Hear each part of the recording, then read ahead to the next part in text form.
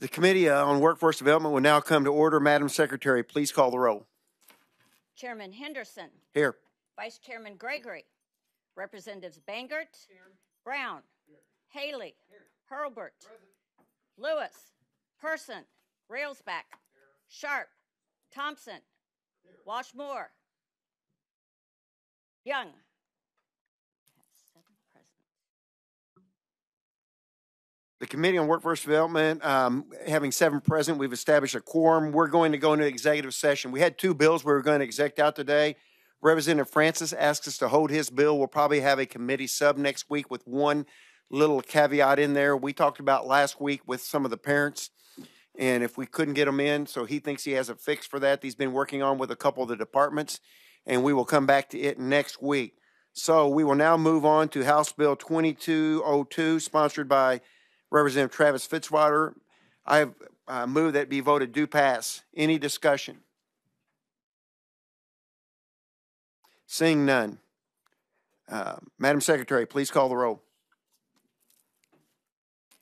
Chairman Henderson, Aye. Vice Chairman uh, Gregory, Representatives Bangert, Aye.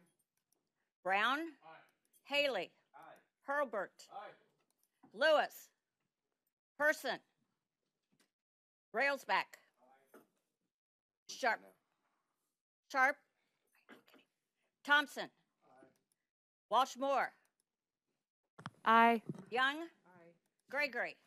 Yeah, these are the ones, we're not exacting this one, we're hearing this one. We're here.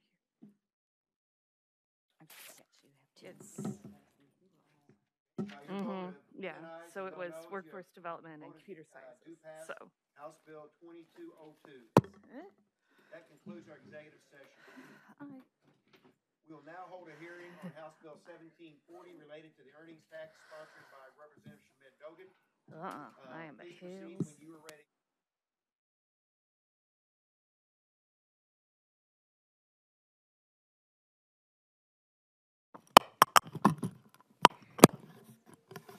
Thank you, Mr. Chair, members of the committee, Representative Shamed Dogan, representing the 98th District, St. Louis County. Um, 1740 is a simple bill. Um, it is not an earnings tax elimination bill. Um, let me get that out of the way first and foremost. Um, we are not touching on the issue of whether or not St. Louis City or Kansas City, the only two entities that have an earnings tax, should or can have an earnings tax. They are completely allowed to have, have an earnings tax under this bill.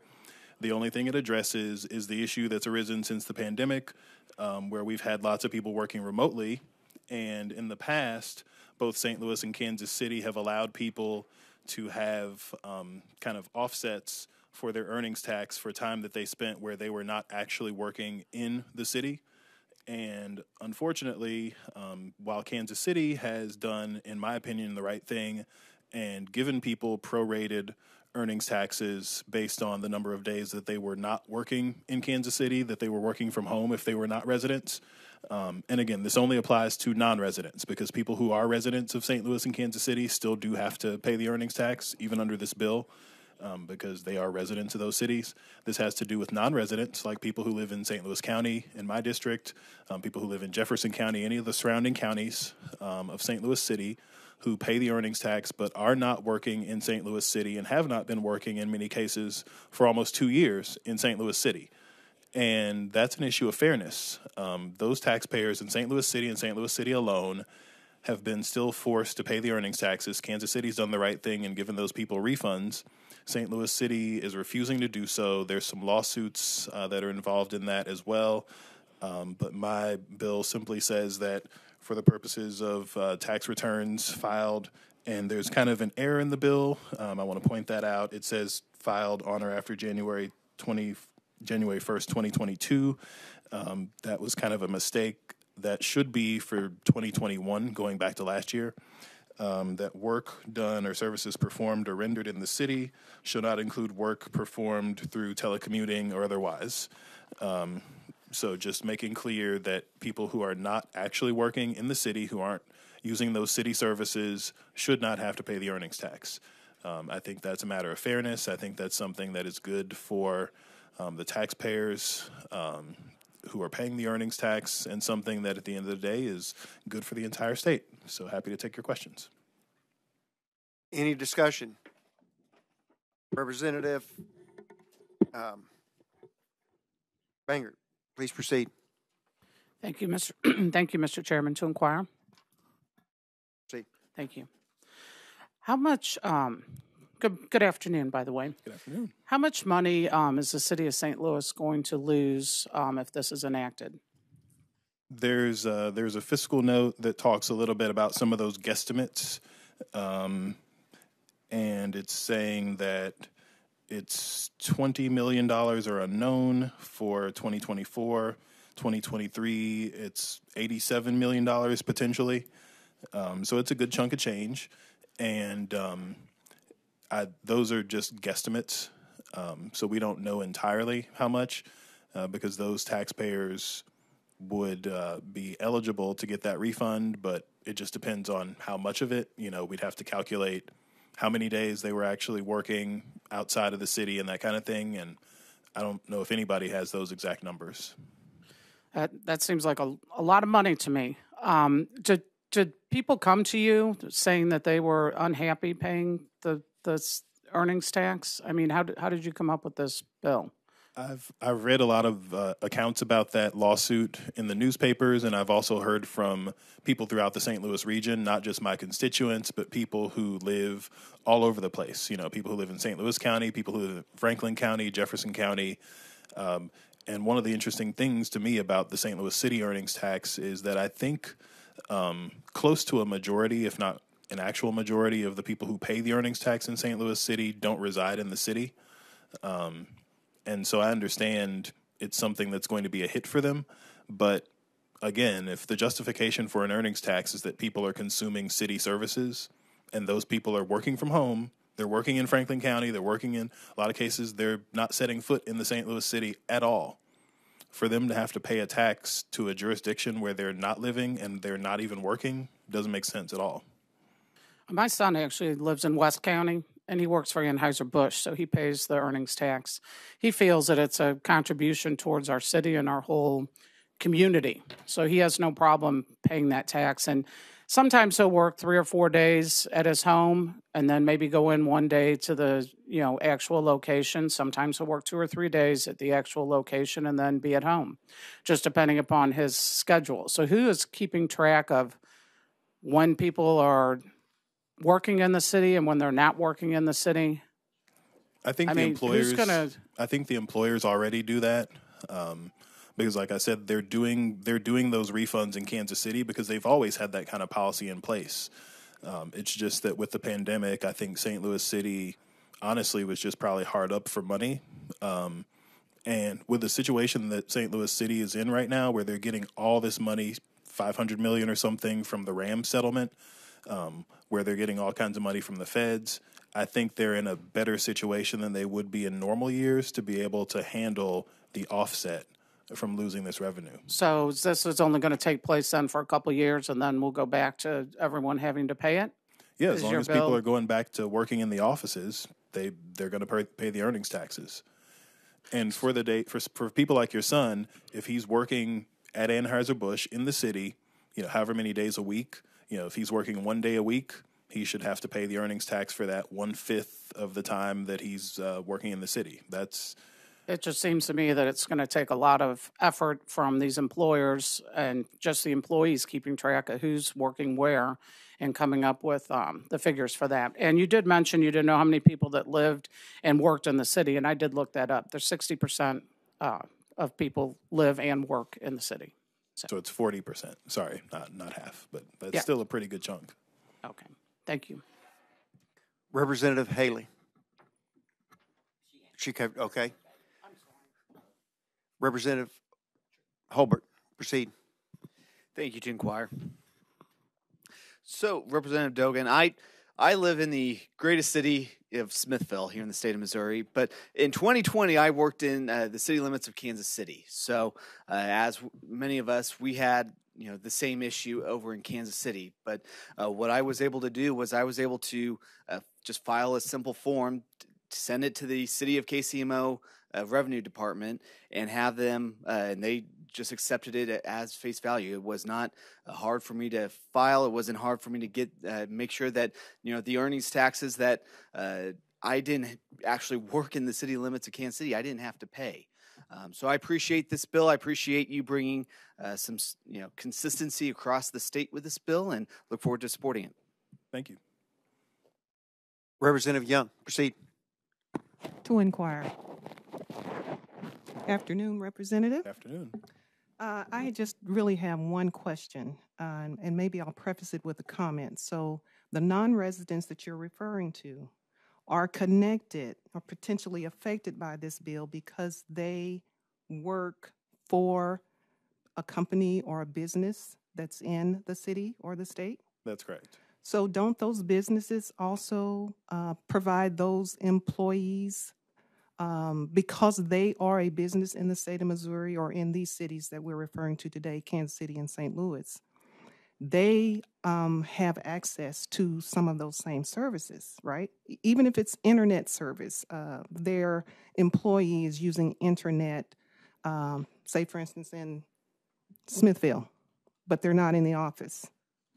But if they're physically not there, you know, what whatever percentage of their workforce is working from home, that that's a decrease in the amount of infrastructure that that, that company is using, right? They're using less electricity, they're having peop fewer people drive on the roads, they're having fewer people do all the things that they would normally do when they're commuting in. But they are employing those employees wherever they are, and it's still, right? It's still uh, resources that are being used, whether it's one or two, three or four.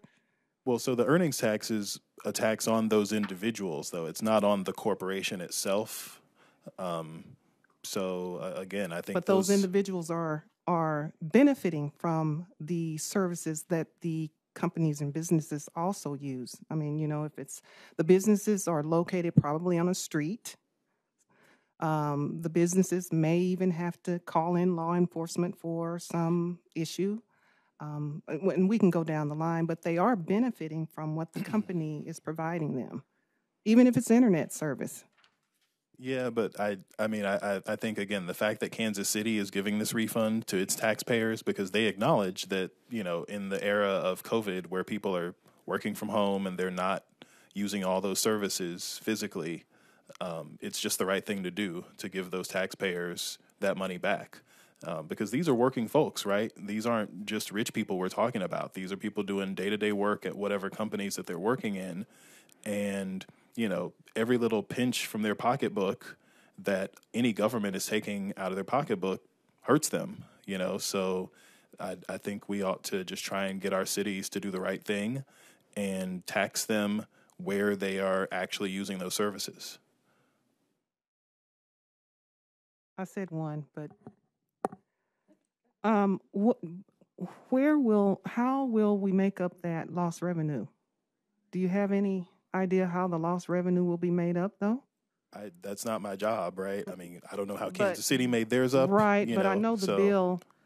Typically, um, I, I would assume we look at bills and we think about how it might impact um, our revenues, the people, our constituents. Sure. And so I was just curious if you thought about it when you were coming up with this bill. Yeah, no, I I don't the have any recommendations, but I would tell the city of St. Louis to look at what the city of Kansas City did to make up for that revenue, um, because I think it I think it ends up being a wash because they're getting fewer services used, um, and then they would get fewer taxes coming in. But I, I think at the end of the day, it doesn't really hurt them on net. Okay, thank you. Representative Washmore, proceed. Thank you, Mr. Chair. Good morning, Good or afternoon. afternoon, sorry. I, it's, it's first of- meeting of the day, so it's still morning. It's been a while since we all seen each other. It's so. yeah, yeah. Um, so I um, I appreciate what you're saying. Um, as someone who has worked in St. Louis City and lived in St. Louis City, worked in St. Louis City, worked in the county, been back and forth several times. Um, I, I understand what you're trying to do, but by I think by comparison comparing St. Louis to Kansas City, I mean that's really that's not exactly comparing apples to oranges, and you and I both know that. I mean, the city limits of Kansas City are not the same as the city limits of St. Louis. So when we're talking about adding in, you know, oh, well, folks in the county, I mean, that's the majority of the population of St. Louis. I mean, if we look at it, I mean, this is another tragedy of the city county divorce. Yeah. Uh, Well, and those and are your constituents and mine, though. They and are. I I, stra- as I represent people in the city and the county, and uh, this is so to compare. You know, well, they don't live in the city. I would wager that a lot of people who would benefit from this, who maybe work in the city but don't live outside the limits, live much closer to the city center than anyone who's outside Kansas City. And so, if we're talking proximity, I mean, we're still talking about massive highway infrastructures. I mean, you enjoy going to the zoo. I know you have kids, and we have the zoo. We have a lot of pay great taxes for that. infrastructures, and we have a lot of infrastructures that go on in the city. And pay taxes for that can- too, but I don't pay the earnings tax because I don't work in the city. So people who aren't working in the city shouldn't be paying the earnings tax for the city. But again, there's the population of the city is so small because of the way we that the city of St. Louis has chosen to divide itself from the county. And that's that's the ongoing issue is the population of the city of St. Louis is and that that's a self-created problem, admitted. But if we're going to compare and say, well, Kansas City did it, I mean, the people who live outside the Kansas City limits of what this earnings tax is truly live a goodly distance away from their company whereas if we're looking at St. Louis, I mean the city county divide, it's not it's not the same. It's not apples and or it's not apples. That's the to that's the only comparison point we have though, because those are the only two cities that have an earnings tax in the state. So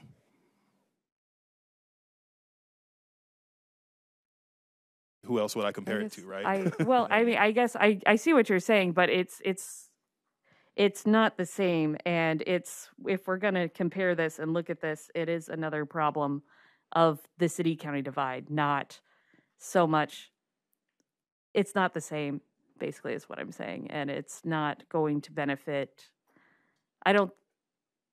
I don't see how it's going to benefit anyone, any of these employees in the long run. Yeah, it might be an an I think immediate. thing. employees want to pay taxes when they don't when the they look at the other side of the state and people aren't paying the tax or they look at St. Louis County like if a St. Louis City resident works in St. Louis County they don't pay an earnings tax if a St. Louis City resident works in Jefferson County they don't pay an earnings tax to those counties nobody else in the state charges an earnings tax for people who live outside that jurisdiction to work there so I, I think we're already in a unique place. St. Louis and Kansas City are where they charge this extra tax on top of the other taxes that they already collect.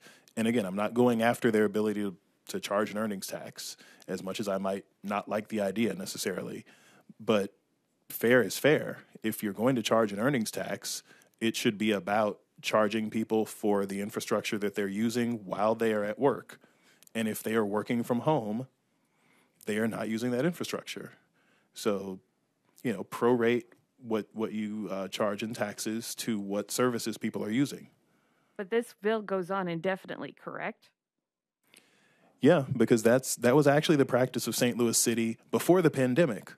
That they would give people refunds no problem because they kind of acknowledge that principle that if you're not working in the city, you know, a third of the year or half of the year or something, we won't charge you the earnings tax.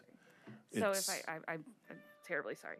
Um, assuming that, um, I mean, like, let's talk about an Anheuser Busch. I mean, do you think that they'll stay in St. Louis and still offer these jobs to the employees if they're they can do this remotely anywhere? Well, I think that's one of the reasons that the earnings tax has been harmful to those cities is because it's an extra tax that nobody else is charging. I, I think from a policy standpoint, we ought to look at whether or not those earnings taxes are helpful. But if if companies are going to, you know, I, I think that's something companies would consider is they bring their workforces back in person, right? I think I I think that's something any company would have to consider is what kinds of taxes their employees are going to be paying. I hope they do bring their people back in person as much as possible. If they do bring their people back in person, then the cities get more earnings tax, right? So, win-win. All right, that that's all. Thank you. Representative, I have a, I have a couple questions. So, my daughter, you, I'm kind of familiar with this. My daughter used to work in the Cortex district. part of that downtown. So they paid the earnings tax and she no longer works there, but I remember the earnings tax on it. So this is on services. Is that correct? That's why we have that earnings tax in theory is to pay for the services that they're using. Is that correct? That's right. And what is it? Is it one and a half percent? Um, I am embarrassed that I don't know that. I think it's one percent, but One percent? Okay, so it's one percent, I think they're saying. I think it's a Up flat here. one percent. And um, I guess my thought on it is if people aren't really using it, it was set up, I think it was just passed recently again, wasn't it? Wasn't it passed by the people in St. Louis recently again? Yeah, Which is which is fine. They have every right to decide if they want to tax themselves more. I believe in that in that theory. That's a that's a choice they can make. But if these people aren't working up there and using those services, if that's really what it's for, and it was, I think it was passed as it was for the services that they're using of the city, I, I would say that I agree with you. If they're not using those services, they shouldn't have to pay that that tax any longer when they're not working remotely. It was brought up about some companies may decide not to keep people working remotely. I- I think that's the new world we're going to live in that everybody's going to have to adjust to a little bit. I think they're going to see more and more of that. Would you agree with that? yeah, yeah. And I think, I mean, there's some opportunities too for us to get people who are working at other places. People who are working on the East Coast or the West Coast can telecommute and earn West Coast wages and stay in, you know, Missouri. Um, I think there's opportunities for us to be getting virtual workers. So we ought to be looking at ways to do that for sure. You know, and, and I think when they when they vote this in, they the only people who vote on it are the people who live in St. Louis. Is that correct? That's right. So that's fine. They should get to vote on it. But a lot of these people, this forty percent that don't work in there, really never got to to vote on that, did they? No, we don't, or they And, don't. and so and and I think if they choose to go work in St. Louis, they should have to pay it. But if they're not working there, I I would say that I agree with you that they shouldn't have to pay it if they're not if they're actually not working there. I think there's a little bit of a fairness issue in my opinion. Would you agree with that? There is. And it's and it's not saying you don't have to pay any taxes if you're working from home. It's just whatever percentage of the time you're working from home. So The, the the extra tax for the time you're not you wouldn't have to pay the extra tax for the time you're not working there. that's right. And those companies I don't know what all software they use and how they calculate it, but I think that's something that's fairly easy for them to calculate what percentage of time you were in the office and what percentage of time you were out. Okay. Any other questions for Representative Dogan? Seeing none, thank you very much. Um, witnesses, I'd ask you before we call them up there, please make sure you filled out a form or you've, uh, you leave one at the desk or if you filled it out online and we have anybody to testify in support.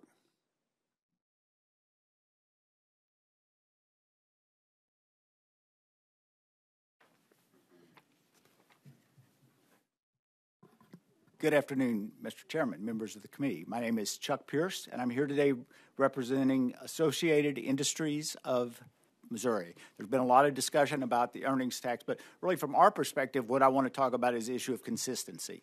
So um, the sponsor already explained we have exactly the same law that- authorizes an earnings tax in Kansas City and St. Louis and there's been different interpretation of what the technical term for this is, is called payroll nexus. It's where you tax this the the work that's performed. So there's two different definitions of that. So now, from a consistency standpoint, think about that. Kansas City did not change theirs. This is the way they've they've done it forever. Uh, there's a form that you have to fill out. You go to your employer. Your employ- employer attests that you really weren't working in the office on those days, and you would get a refund. They kept that policy. Uh, the city of St. Louis redefined the definition of nexus to specifically exclude telecommuting. Okay, so now we have an inconsistent definition of the same statute. Now, think about that. If you have a company that has an office in St. Louis downtown and an office in Kansas City downtown, you're and because of COVID, you sent a lot of people home. It happened all over the state. Your employees in Kansas City are going to get a refund for the time that they stayed there. Your employees in St. Louis are not. And it's the exact same law that's in, that's in place. As an employer, that's a pretty difficult thing to, to explain uh, back and forth. The other thing is consistency overall with what constitutes what we call payroll nexus. Nexus is about an, a jurisdiction's ability to tax you. And so payroll nexus has always been about where the work is actually performed.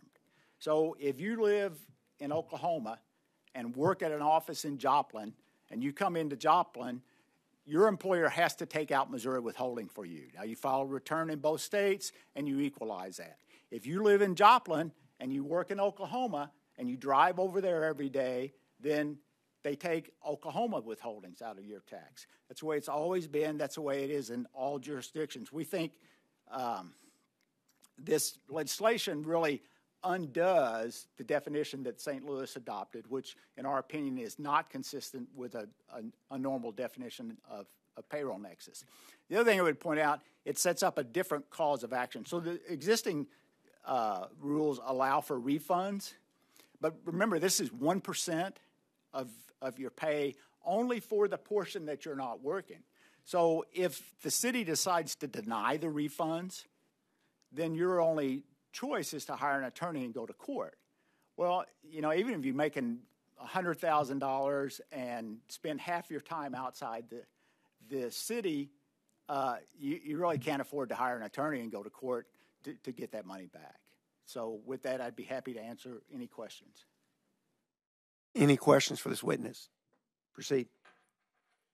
I'm sorry, I'm just a little confused. Um, so this Nexus, that's how everyone's paid in the whole country, or? No, that's how. So Nexus is about. I'm sorry, that's that. I, I shouldn't have gone down that rabbit hole, but that that is how a state decides whether your employer has to take out payroll taxes or whether they can uh, they can tax it.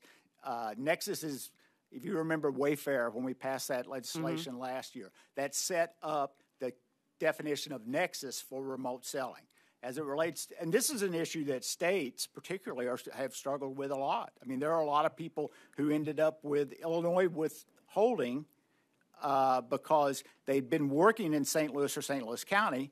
They lived in illinois. They had previously had withholding in missouri but they spent six months working from their home. So their employer had to withhold illinois taxes send that to the state of Illinois so Illinois would be sure they filed an Illinois return and, and ask for that refund back. So then, how does an individual get their money back if they're not going to pay the, the taxes? It's a one page form. Is that what you said? One of the representatives said there was a right. one page form right. in Kansas so, City. So the, the the technical part of the process is there's a there is a refund form. So you would fill that out you would calculate the number of days that you did not perform work inside the city. Your employer would verify that for you, and uh, then you would get a refund. So, to your point, if the employer do, if the employer doesn't want to keep records or wants to dispute the employee's records, there's no there's no path forward. Somebody has to want to do this, and keep the records that show where they are working. So that's going to take time on the employee's behalf to fill out the form as well as the employer, because the employer is going to have to sign off on it. Well, not, and that's where the concept of nexus comes in. Employee employers already track where you do the work because they, they have to do that for, for payroll withholding. Now, if it was a, in the county or work from home situation, if they didn't have a record of that or didn't want to keep a record of that, then that's going to be between the employer and the employee. There's nothing in this bill that requires an employer to keep to track where their employees work. Well, well, I mean, they have to sign off on the form. I'm just talking about the form. If I'm an employee, I have to spend some time filling out this form, and then my employer has to spend time signing off on the form. I'm just saying it's just going to take extra time where they could be actually doing their job. So, yeah, thank you. What, the form's not required. I mean, if, if you want the refund, you have to you have to provide some kind of documentation to get a, refund back. Any other questions for this witness? Seeing none, thank you very much. Anybody else to testify in support? Okay, anybody to testify in opposition?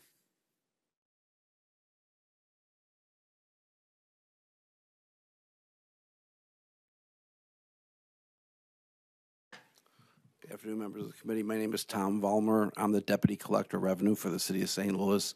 I collect this earnings tax, so I'm up here to basically answer your questions or anything that might have of concern of yours. Um, the earnings tax was generated 60 years ago, and pretty much the earnings tax came into play because of the basically urban sprawl We're one of 39 cities that has an earnings tax. We copied this tax from the state of Phil- from Philadelphia. They were the very first ones, and they charge four percent. We only charge one percent. New York has it; they charge five percent. It's a, and basically it's an earnings tax. It's what a lot of the employees check. These people that work remotely, and uh, every- like we alluded to, this case is in court right now, and it is being done through the justice system. Let them handle it, and whatever the judges rule, we will abide by. But they're earning money for a city-based business. They're still performing their same jobs. They're just doing it remotely. Questions for this witness? Proceed. Thank you, Mr. Chairman. How, are you aware of any other cities that have changed their earning tax structure because of COVID? I know Kansas City has, but are any other of these cities that you're talking about, these 39? But uh, the, the, the we pretty much have all met, and we have a um, an annual conference, and everybody's on the same page as the city of St. Louis. They're still taxing. Nobody has changed the rules. They're all still charging. We still allow for a refund for people that work their actual job and travel. Like if you're based in St. Louis City and you go to Kansas City or go to um, uh, Springfield to do your job, we allow for those days.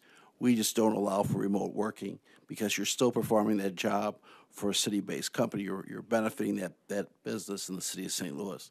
So, like your son that works in Anheuser-Busch, he's doing his job. He's just not sitting physically in that building, but he's still doing the same job from home. Okay, one other question. I know that it goes to a vote of the people in the city of St. Louis. How often does that vote take place? Every five years. Every five years? Thank you. I, I've got a, a, question. I think we've had an answer, but I kind of want to get your interpretation. So, what is the earnings tax at its base? What's it for? It's a. It's basically goes to the general fund. It it pretty much um, streets, police, fire. It's basically your public services. Anything in the general fund. It, it generates one third of the city budget. Okay, so it's for the city services. Is Yes, correct. Okay, yes. so we'd had that conversation earlier.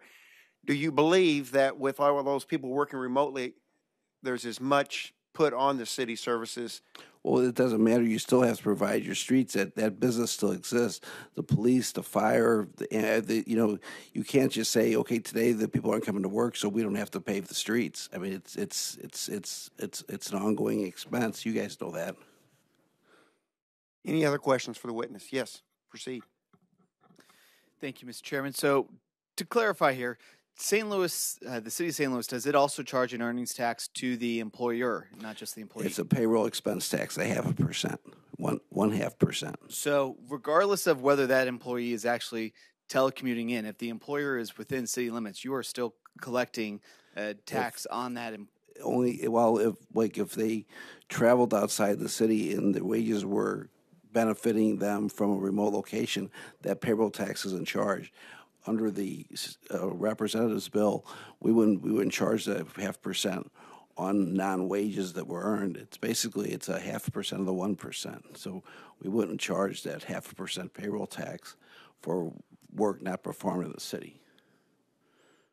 but what I'm saying is that these companies are pro- still paying into St. Louis City's coffers in order to provide you know those services to the business. But while the employees not actually they are not actually using any of these services, then your your argument is that they should still be paying into the system even if they aren't using the services. Well, let's see.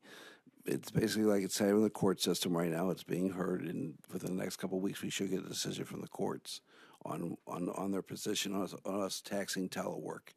The payroll tax came about in 1988. We used to charge five dollars a person, and they ruled the courts ruled that that was illegal, so they did away with the five dollar head tax, and then we turned around and instituted the payroll expense tax. Well, thank you. Yeah, I've got one question because I'm uh, maybe I'm the only one a little bit confused there, but so it's one percent on the earnings tax, but is there a half a percent on top of that? That's paid by the employer. The one percent comes out of the employee's check. The the one percent earnings is paid by the employee. The company pays a half percent payroll tax for for wages earned in the city. Okay, so in other words, it's one and a half percent, one for the employee, a half percent for the business, so it's one and a half. So I knew I'd heard that number one time of one and a half percent, and you're saying you don't collect the half a percent if the employee If is. the wages aren't earned within the city of St. Louis, if they, if the wages, if they sent the employee to travel for his job, those wages are not charged. That, that's the simplest way I can put it. Okay, that helps me. Thank you. Thank you. I had one other question. I'm sorry. You had mentioned something about a lawsuit. Can you explain to me what that lawsuit's Um, about?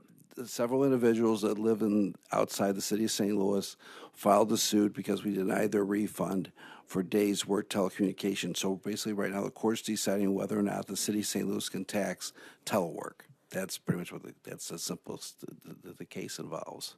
Okay, thank you. Any other questions? Seeing none. Thank you, sir. Okay.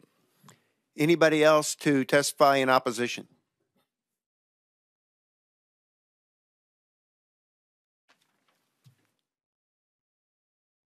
Good afternoon, Mr. Chairman and committee members. My name is Demetrius Alfred.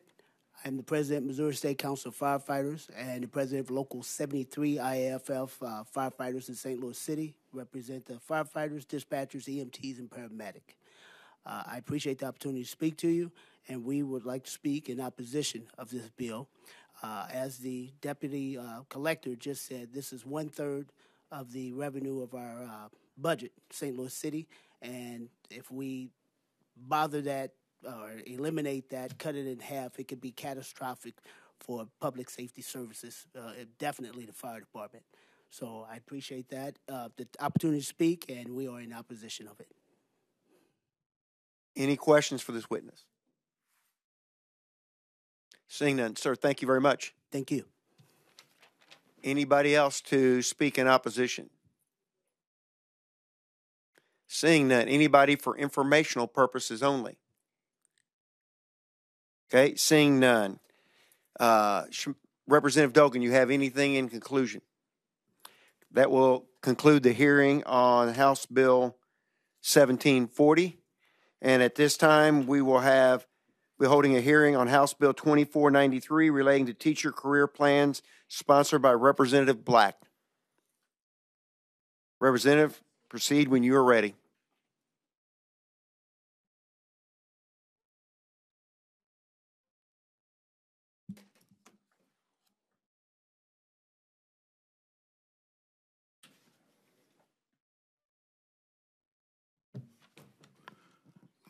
Thank you, Mr. Chair and committee, for hearing House Bill 2493 dealing with um, teacher career plan.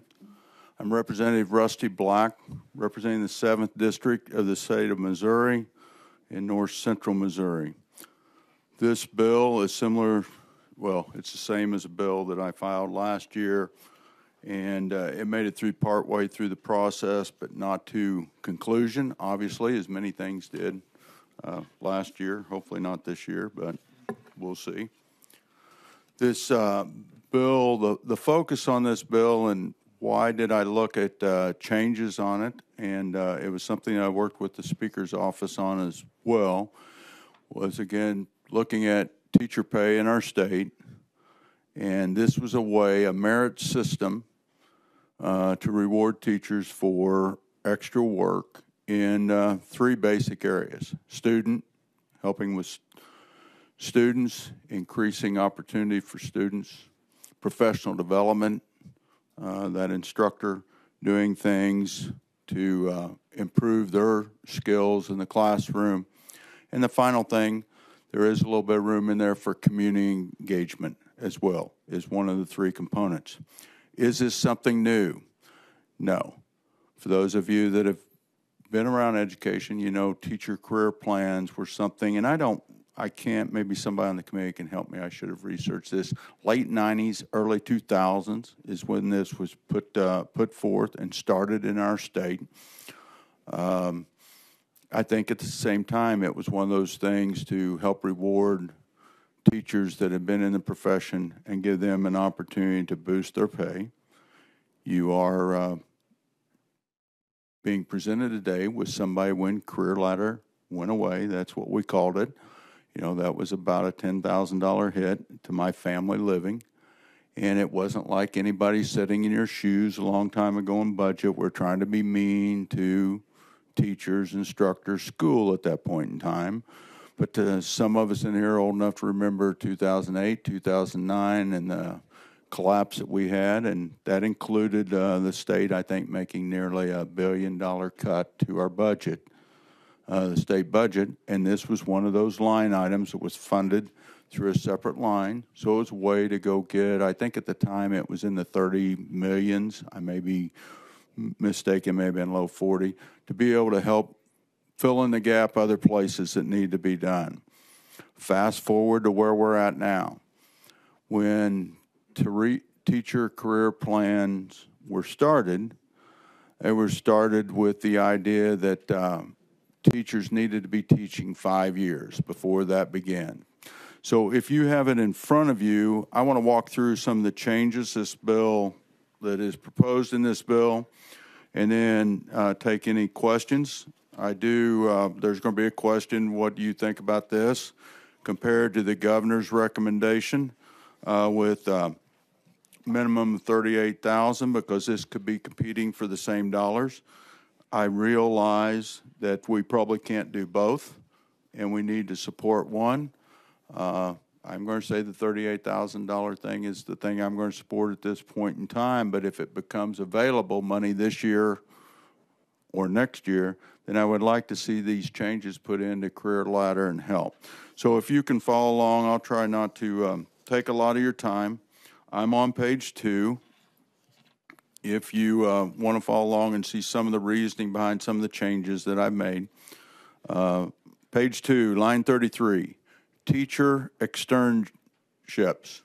What does that mean? That means teachers going into the community in the workforce, summer, weekend, etc., normally non paid positions, and get that experience in those areas. And this would be, they could keep track of those hours and that time.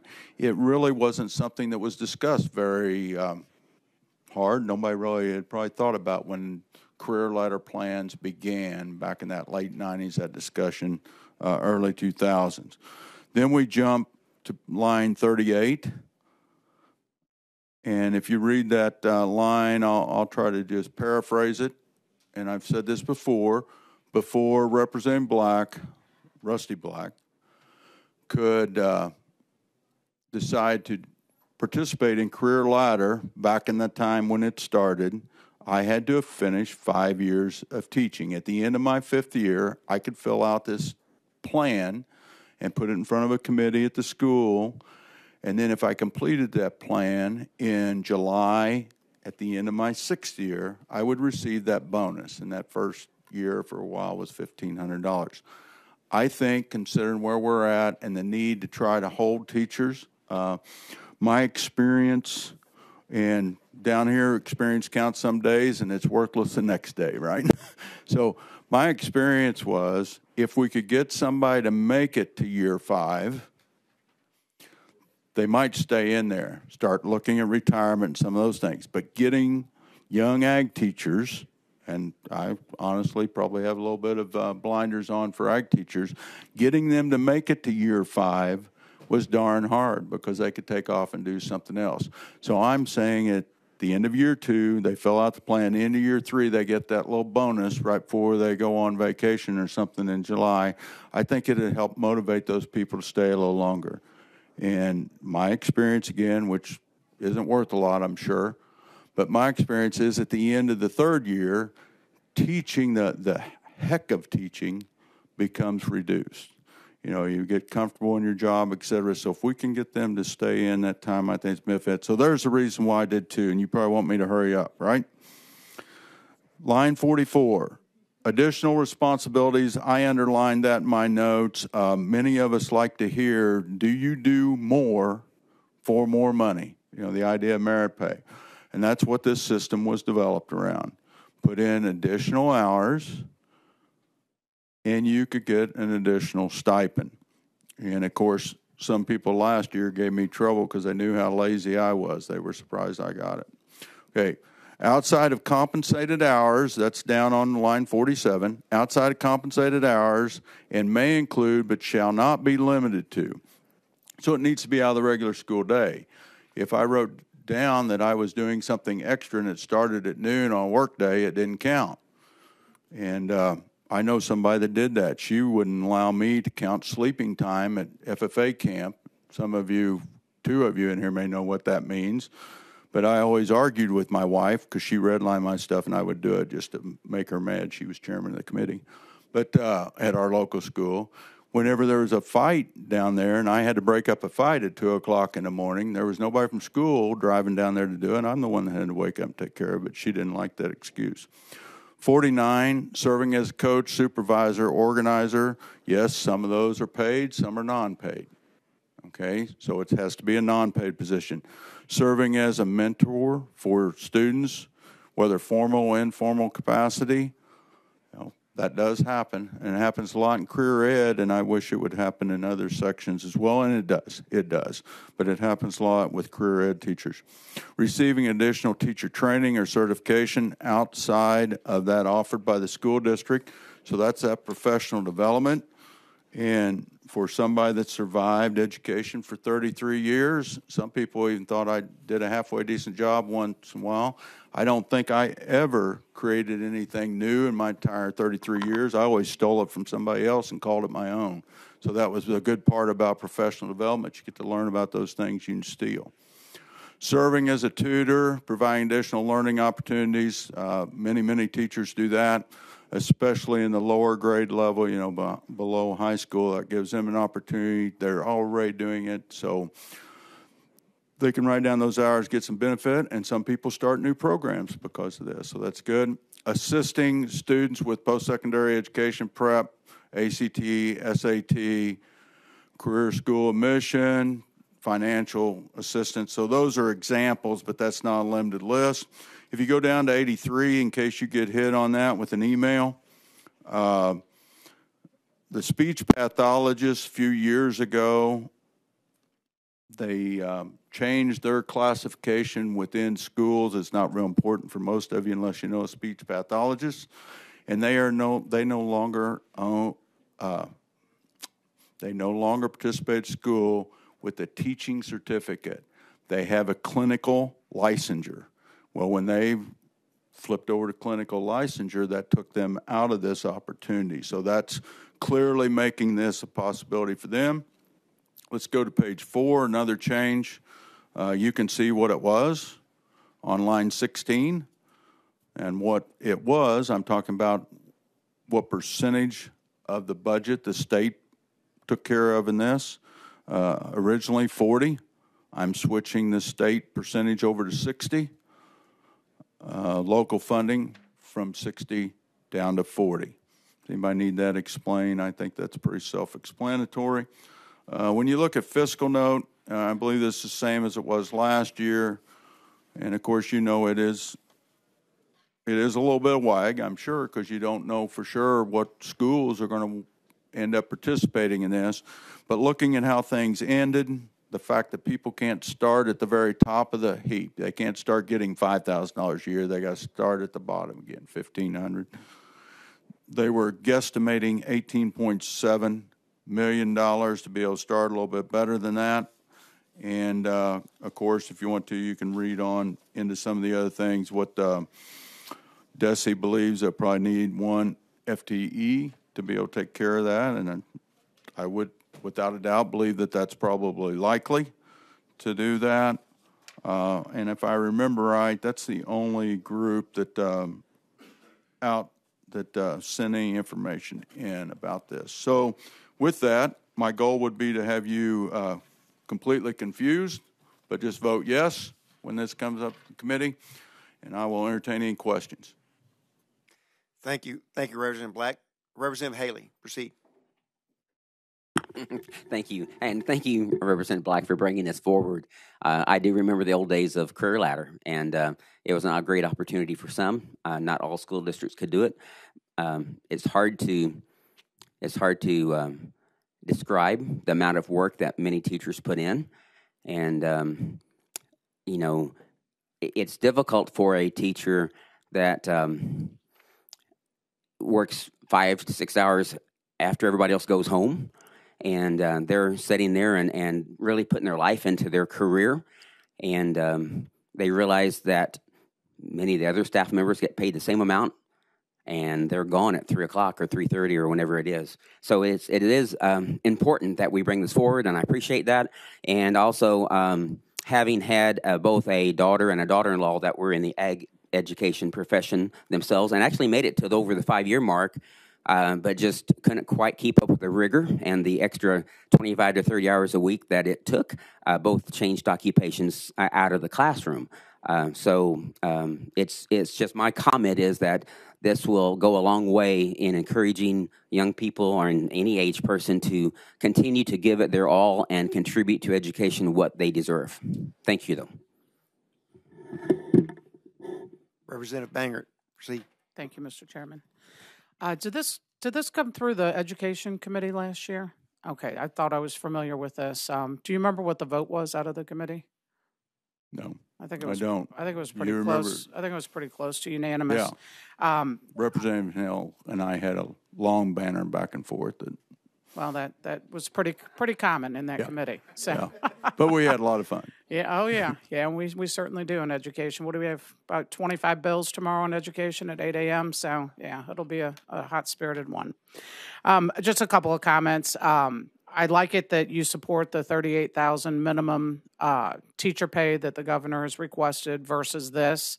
Although um, my daughter would have loved this program, she started at less than thirty thousand dollars a year as a high school math teacher in a rural uh, school district, and started a lacrosse program. And the lacrosse program, she started herself, a club program. She did not get paid at all to start that program. Needless to say, I bought some lacrosse nets and some other stuff uh, to donate to that program. And the program was very successful and now is in its sixth year. And um, if she would have had that pay, those first couple of years, that would have been great. She worked a job at a grocery store every Sunday in order to um, make extra money that she could have made, you know, if she would have been able to uh, have this career ladder plan. So I think it's great and a great way to definitely support our teachers. And as Representative Haley said, you know, so many folks leave the profession because you can make a lot more money and work a lot less hours, and people don't realize how many hours go into being a teacher. So thank you. Uh, Representative Walsh Walshmore, proceed. Thank you, Mr. Chair, and thank you, Representative Black, for this. As the daughter of a school teacher uh, for over 20 years, um, I know my mom. We there the Walsh children made up a lot of the extra time. uh, we were after we finished our homework, we had to help mom grade hers, and uh, you know our summers were spent going to um, all different educational sites. If you ever come to St. Louis, I am happy to play tour guide because I have been to pretty much any location in the city and county in the greater area making worksheets so mom could take them on her field trips and things like that so um, and we certainly could have uh, used the extra money being one of four kids i know on a school teacher salary was definitely uh, some tough times at home so uh, i i love this i love that you're flip-flopping the uh, that the majority will be coming from the state. I think a lot of, I hope a lot more of the smaller school district, as Rep. Haley said, will pick this up as it is less burdensome on the local school districts. I think that's great. And um, I, I hope we can move this forward. So thank you for bringing it. I have just a, a comment or two I'd like to make. I, I was there in 1998 when it started. I was a school administrator at that time. So I think that was the year it started. Um, it's been made, it's worked very well a lot of places. Like in one of yours in line 56, 57, 58, it talks about assisting students on ACT and SAT. We did the ACT at our school. We would have a math, English, and science teacher every weekend for about four weekends in a row. Maybe not the same teacher every weekend. Come in on a Saturday and work with those kids to try to prepare them for the ACT. And how did we compensate them? Career ladder. And how did it work for the kids? Our ACT scores went up for like four or five years in a row. They kept going up in the district because we put the time in to do the do the prep work with them. So I think it does work. I think you're also correct. We lose those teachers in the first five years because the, pay isn't going to keep them there, and and they get burnt out sometimes. And this is something to give them a little extra for for the extra work they do. And a lot of our teachers are doing a lot of this work right now uncompensated, and there's nothing wrong with that. But I think it'd be good to try to make sure that we're showing them that we appreciate that extra work they're doing. So I really appreciate you bringing this forward. As far as externships, they're happening in around my area already. A company called US Tool will take these teachers. They currently pay them, but if you had career ladder, they could probably choose to take the pay in the summer or not. They're doing doing a lot of our career and tech people, our um, vocational teacher, teachers, and bring them in to work in their in their factory in the summer to try to show them what they can do, so they can go back and tell their kids the kind of jobs that are there. So I think this all ties in really well with what we're trying to do with career and technical right now too. Thank you. Any other questions for the witness? Thank you very much.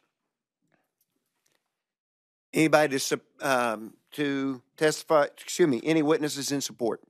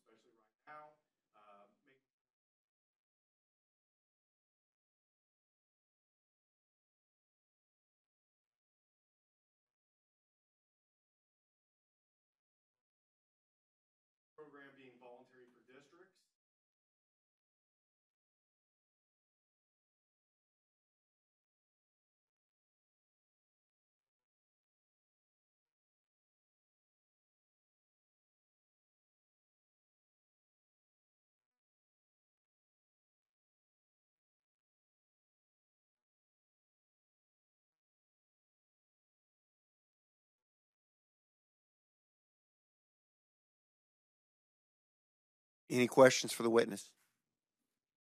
Seeing none, thank you very much. Anybody else to testify in support?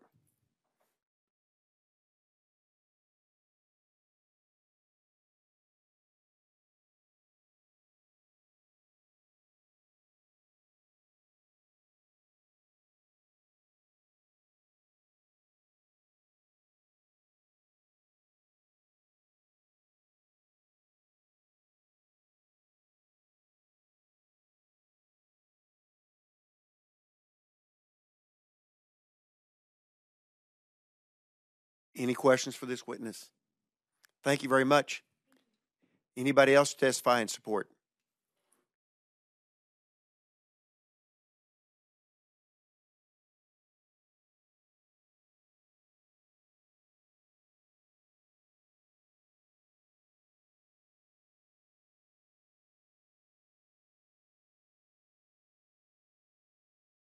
Any questions? Thank you very much. Anybody else to testify in support? Anybody to testify in opposition? Anybody to testify for informational purposes only? Seeing none, that will conclude our hearing on, this concludes the hearing on workforce development.